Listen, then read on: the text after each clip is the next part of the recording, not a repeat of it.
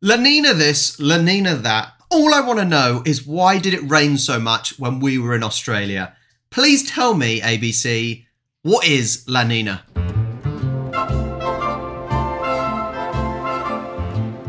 From long days splashing at the beach to the ongoing race between the sun and your ice cream.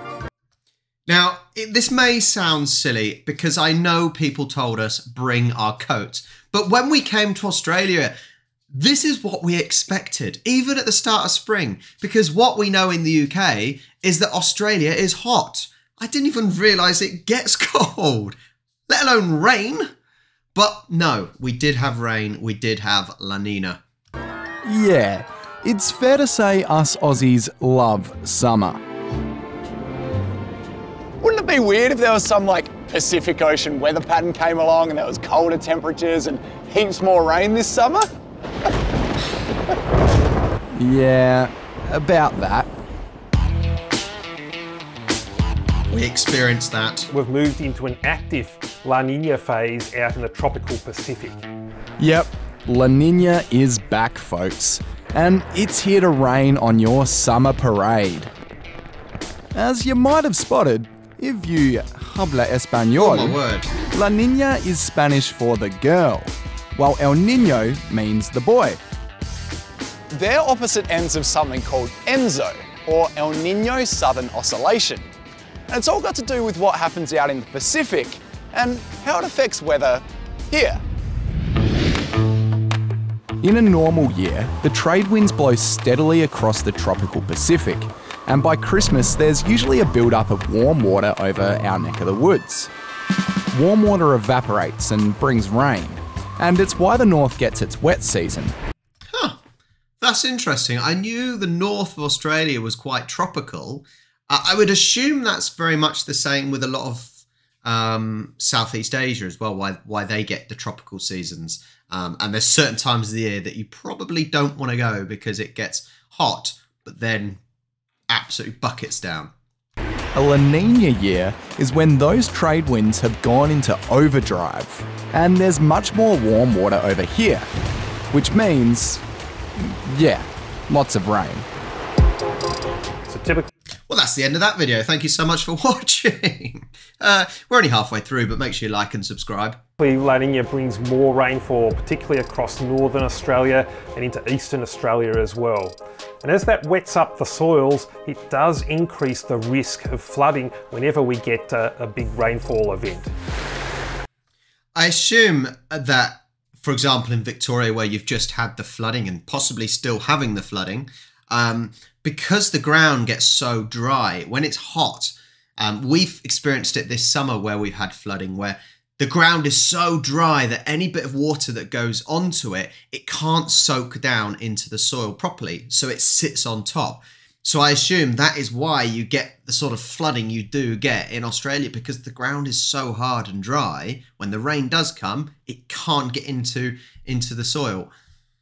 Not good because we experienced it this year, and, and as temperatures are warming over over in England, it gets bad. The last time we were in La Nina, back in 2010 to 2012, it was the wettest two year period in Australia's history. And it brought with it some pretty hectic storms, cyclones, and flooding. Pretty unreal, eh? The water would just come up so quick, like it's just risen. But every La Nina is different, and the weather experts say this one could be a little milder. While floods are always a possibility, some are hoping this La Nina will mean less bushfire risk over summer. And for farmers, the rain is a sight for sore and rather dry eyes. We might get an above average rainfall, which will grow um, lots of grass and have fill all the dams. That is a good point. So, for example, for the um, especially the eastern areas, Melbourne, Sydney, Brisbane, those sort of areas, they possibly don't really want more rain. But actually, in the middle, in the outback, they probably do want rain. So it's probably quite um, contradictory to say that you know it's a bad thing because actually parts of Australia it's probably great. The outback, like the kids saying, they want more grass. They want more grass. They want more um, the nutrients of the soil to mix with the water. You know all that sort of chemistry and sciencey stuff. Um, but the eastern side sides probably don't want it and don't need it. That's an interesting thought. I think that's a really interesting thought. It's not always a bad thing. And make, make it an easier season for us next year. As you probably already know, Australia has been going through one of its worst droughts on record. And some of it has to do with La Nina's hot and dry counterpart, El Nino. El Nino happens when the trade winds over the Pacific get really weak, or even reverse, which means Australia doesn't get its usual share of warm water or rain. Most of our driest and hottest years have coincided with an El Nino. La Nina and El Nino are a natural part of the weather, but while they usually come every two to seven years, we're never really sure when one is around the corner. But experts say we are locked into this drizzly old phase until at least next autumn. So, for summer loving, beach going Aussies like myself, it might be worth packing an extra brolly for your next trip down the coast. Well, that was interesting. I said I I know everyone keeps saying about La Nina, um, and I have no idea what it was. It's just lots more rain. But maybe it's time for the Aussies to move over to England because it might be a bit warmer and nicer nicer weather in England than it is in in Australia, and we're going into winter. So it's what I find is actually really interesting is what it seems to be happening at the moment is now I'm gonna yeah it seems like Australia is getting wetter England and the UK is getting warmer. It's oh man, things are just getting. It's always when you see the hottest on record or the wettest on record. I, I know the records haven't been going that long, but you know, hundred plus years or whatever.